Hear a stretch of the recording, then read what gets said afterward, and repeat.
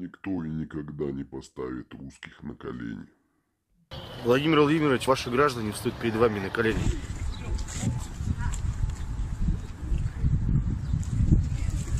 Помогите, пожалуйста. Господин президент, господин президент. Господин президент, помогите!